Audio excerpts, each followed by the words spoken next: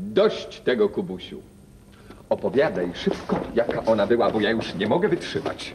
To. No, ta wieśniaczka, która nacierała ci skronie swoją spódnicą. I wszystko pan pokręcił. Ale niech będzie.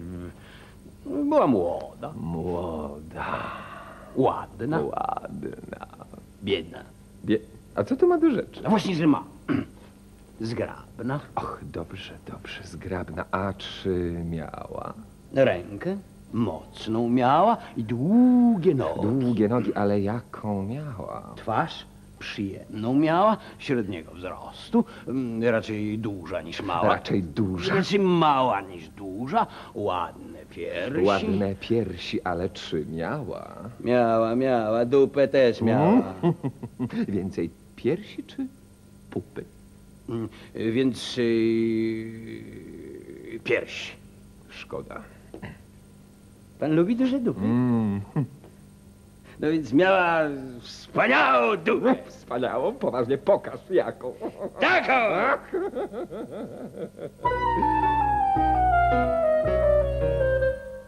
U panien i znajomych pań, niech wierzy, kto mnie słucha.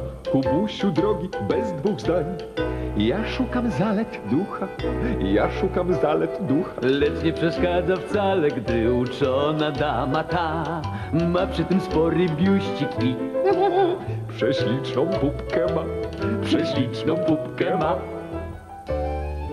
Miło wśród intelektu łąk z paniami wieść dysputę. wśród książek rzeźb wychwalać w krąg zalety pióra dłuta. Lecz nie przeszkadza nic, a nic, gdy mądra pani ta ma przy tym spory jędrny cyc i śliczną pupkę ma.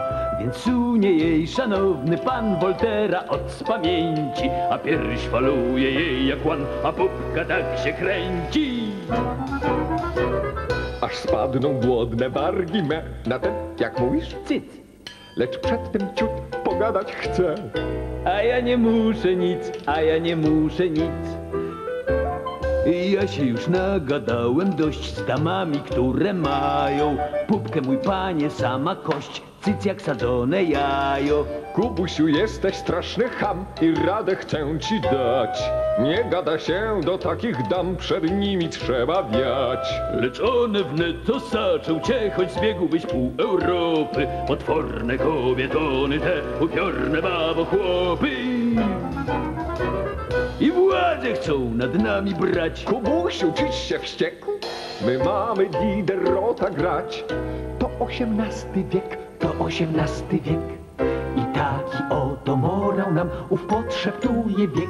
Tu u panien i dojrzałych dam. Poszukuj intelektu, lecz nie przeszkadza wcale, gdy uczona dama ta ma przy tym spory biuścik i Przyśliczną pupkę ma. przyśliczną pupkę ma.